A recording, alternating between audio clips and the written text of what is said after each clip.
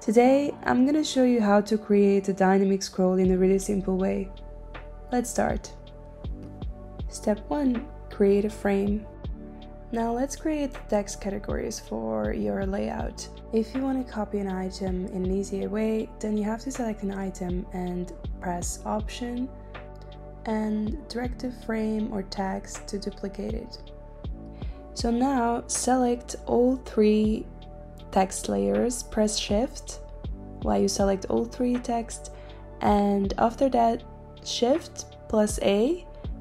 With this you can create auto layout which is super great. With this setup you can easily adjust the spacing between items. I recommend using 24 pixels but whatever you like you can change it easily in the right side panel.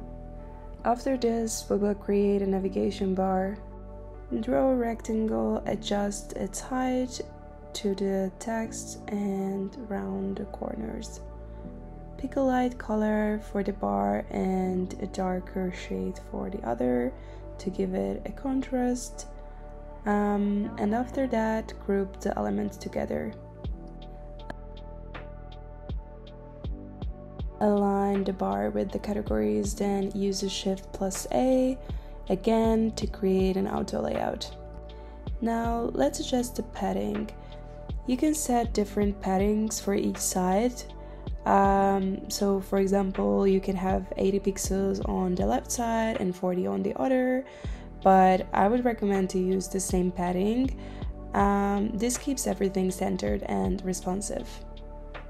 You resize the padding, you will notice how cleanly and consistently the entire layout adjusts. Um, that's the beauty of using auto layout. The next one is the text layout. Duplicate your text layout if you have already, or you can easily create one. Of course, like I created one heading and one body text.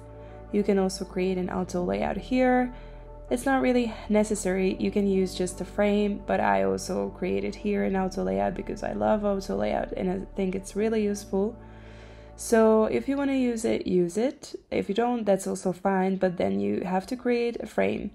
So you just place your text in the frame.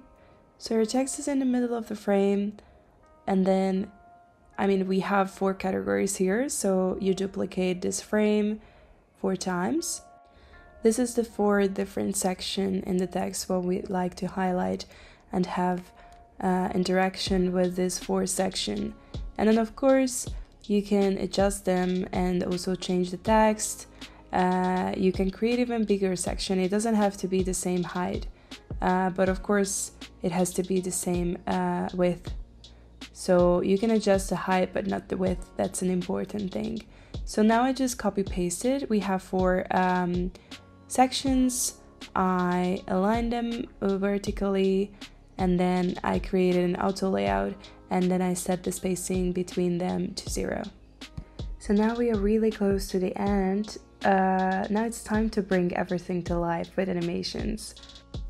So the left side panel is fixed and the right side scrolling section is vertical scrolling. After this, we need to copy the screen four times and drag the text accordingly. Obviously, the first one stay as it is, the second should be set to minus 1024, and so on.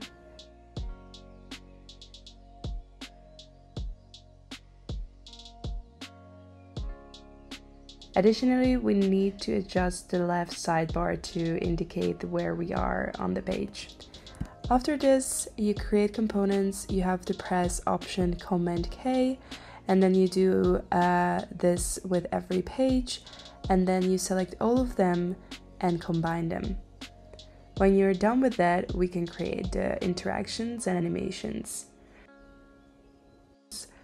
Use Smart Animate in prototype mode to create smooth transactions between screens. That's one thing and also assign keyboard shortcuts like the down arrow. This will create this nice scrolling effect. Repeat the process for the reverse direction using the up arrow so you can scroll back up. So, lastly, you have to connect the categories with the page where you want to go. So, with click interaction, you have to decide where you want to go when you click on the side panel. So, for example, of course, the next, the second category should be the second page, and then the third category, the third page. So, you basically create the same animation but with the click. And when you're done with that, you copy the first component and you have to create a frame first. So you have to press Option Command G, and after that, you can check it out in the presentation mode. So great, it works just how we want it. You can click on something or you can just scroll down and you can see that the left side panel will change. So it's really nice and it works perfectly.